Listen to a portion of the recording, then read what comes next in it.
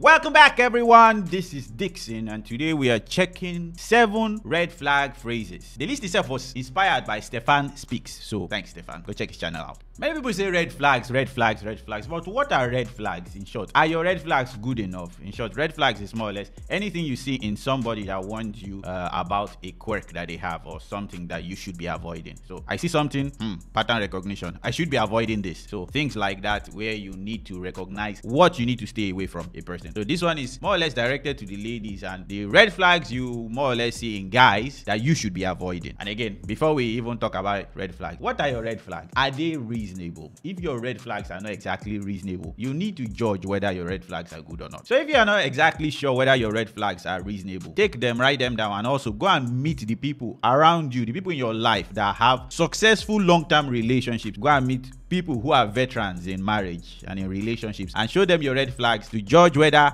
your red flags make sense or they are just superficial. So do that. So if you notice some red flags in the people you are in relations with or people you are considering relationships with, it's not wise to automatically rule them out. Check with them to see whether what you have discovered in their life, whether it is truly a concern. As in, they will not tell you that it's a concern though, but you yourself ask questions, enough questions to help you clear out any doubts to make sure that I am not judging this person based on their worst state. You don't want to see a bad side of someone when they are not in their good state. So check with them, know why they are doing some things, and rule them as red flags or not. Don't just automatically say, "Hmm, I see this thing in his life. I saw this thing in his life. Hey, red flag, red flag, red flag. It's not always automatic. People are dynamic, people are different. Ask more questions before you determine that this person is truly a red flag or not, or rather, this thing in this person is truly a red flag or not. If it's not fixable, run! Don't bother. Again, shout out to Stephan Speaks. He gave this list, and I just wanted to put my own twist into it. So the first phrase in the list is, What do you bring to the table? This phrase has been used in so many places, so many podcasts, so many things. The people using this phrase are not necessarily using them for bad motives, but it contains a lot of baggage. It has a lot of baggage. So you want to ascertain and check whether this person is using this particular phrase for the right reason and not because he wants to get everything he needs to get out of me, then leave. He only is with me based on what he can get from me. So you as a lady, you should more or less ask questions to decipher whether that is the exact situation in your own case. You don't want to end up with a guy that just wants to just use you, gain different things out of you, and just bail. That's the worst case scenario for you. But at the same time, you can just be an innocent guy who just wants to know the benefits of you being in his life, but he doesn't know how to phrase it properly. So have that grace and forgive that person. But I, for one, I will not say a guy should ask that question plainly. Investigate, be with that person for a while. You'll be able to judge whether this person can add anything to your life. It's not a question you should be asking to a lady directly like that. If you are liking this video, please press the subscribe button and the notification bell. Help us to get to 1000 subscribers. Another one is I just got out of a serious or a long-term relationship. Most times when people say this is because they are trying to tell you that I just came out of something long. I already invested myself there. I might not be able to invest myself as I did to that one to you. So it's a little concerning. You need to also dig more to know whether bridges have been burnt here or whether good reconciliation or not necessarily reconciliation, good severance, as in they parted ways well and they've properly separated. You need to check because some people, some people will live long-term relationship and have picture in their bed and be crying, I miss him or I miss her. You don't want that kind of thing. If you've separated, you should be separate. So you need to investigate whether this person is still invested, even indirectly, with the other person that they just left. The mosquito just fly. Another thing I will also say is, apart from separating and co completely separating, I will also ask, have you truly forgiven the other person? Or maybe not ask directly. You can tell that from the person's language, whether they blame the other person for everything and different kind of things. Or you should ascertain, have there been proper forgiveness? Well, some people say reconciliation. Reconciliation just means uh, coming together or settling scores. I don't want to mix those two words together, but did the two people separate in a way where he is not leaving, or rather, he's not having a grudge on the lady? The lady can have a grudge against him. That's fine if he has done his own part to more or less mend the relationship, to ask for forgiveness and all those things, and it was not given, it is fine.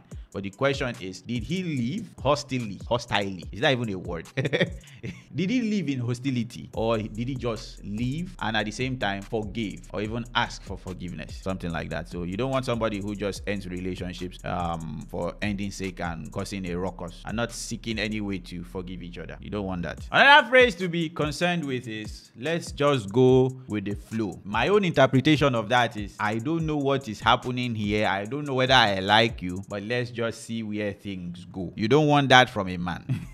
because in other words a man should be sure that he likes you. It doesn't have to be head over heels for you. He should like you in some sense and that is fine. In short many of us men we've been guilty with this kind of things. We probably never said it but it has happened to most men. Let's just go with the flow. I don't know whether i like you. Let's just go with the flow. So it's something you need to be concerned about and you also need to ask questions and check whether this person is just aloof and just wants to do a casual thing or this person has a goal. I want to get married. I want us to reach this particular situation. If I like you, we go on. If I don't like you, we, we leave. In short, there has to be some form of plan and not going with the flow. If you are dating for marriage, as you should, you should not go with the flow because it is almost hopeless. Don't even do it. Your father will not be happy with you. Another phrase will be, my ex was crazy. I will make her crazy. Hey. so the questions I will ask, yeah, I will have here is why why was your ex crazy? Are you a contributor? What part did you play in making that person crazy? If it is none, I don't know. I just want to hear your own part. Maybe it's the way you are perceiving that person, or are you exaggerating? Because that's another case. When you meet somebody where anytime they tell you about the people around them or the people they've had involvement with, uh, relationships rather with, they always have something negative to say. It's not a good sign. They should at least have some positive things to say about that person. I know that person is not a saint, but they should not always say this person was crazy. This person is a psychopath. This person is a this. This person is a that. What good thing did you see in the person will make you stay with them in the first place? So that's something to be cautious of. If they say my ex was crazy, how? Ask questions. You don't want to be part of his story where he tells people that you also became one of his crazy ex and say ah, that girl she was crazy. So in order not to fall under that list, so you need to investigate and check why did he classify his ex as crazy. You might be the next person he will classify as crazy. Another phrase will be, I don't really know what I'm doing with my life right now. Hmm, hmm, hmm. That phrase should not be uttered by a man that is stable. I'm not saying that there are not times when men will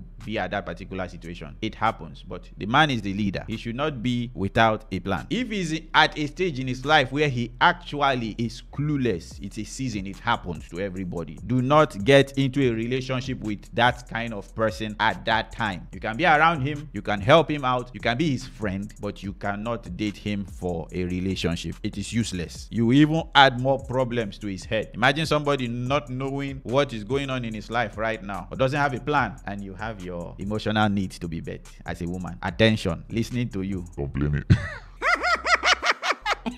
hey, he will just die.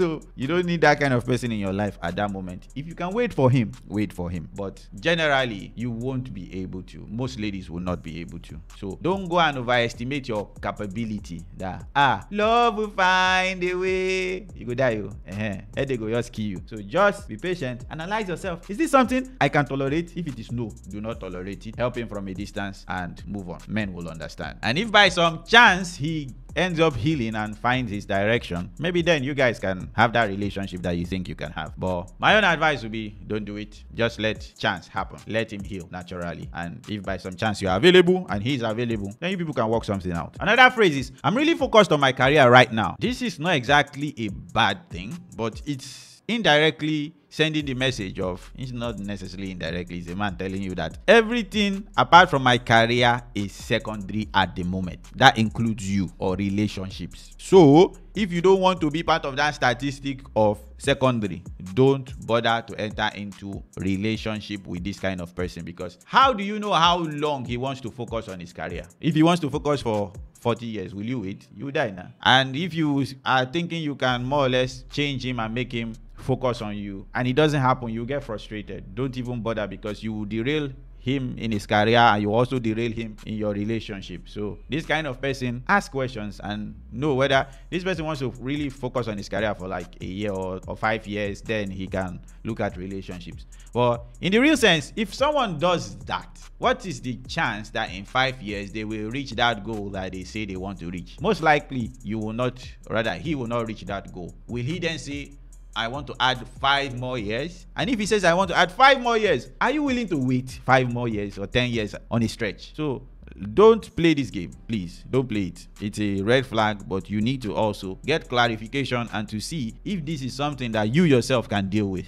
The other phrase is more or less not direct, but something in the line of marriage is a waste of time, or marriage does not benefit men, or marriage is just a paper kind of thing. If you hear that from a guy, it's a very serious thing. The same way I tell guys, don't marry a feminist. That's the same way I tell women, don't marry a man that does not value marriage. The men who want to get married generally are mentally prepared uh, for the issues that will come when you get married or in case a marriage fails prenup, taking of the child, police, child support, and all those kind of things, depending on what country you are from. These things also that they are prepared for they also scare some men. Rather, they scare a lot of men. Let me not say some. If you want to get married, and you know the reason why this man doesn't want to get married, is because of the fear of what can happen after a divorce. It's your job to help him remove every area of that fear. Because he already has a good intention to get married but there are dangers in getting married. Why don't you help him to remove those dangers? Because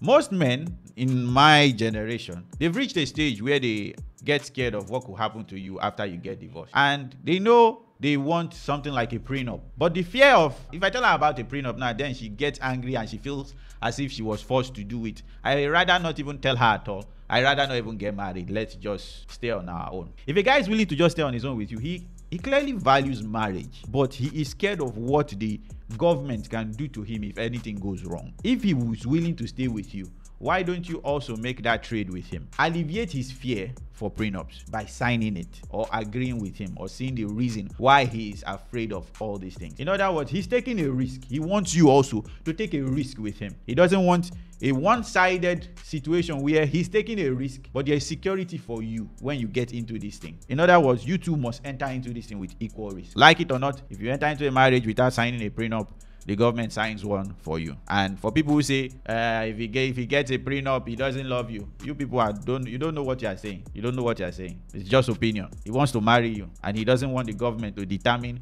who gets what and what gets what. He wants both of you to decide it by yourself. He wants you to the two of you to draft it, not the government drafting it.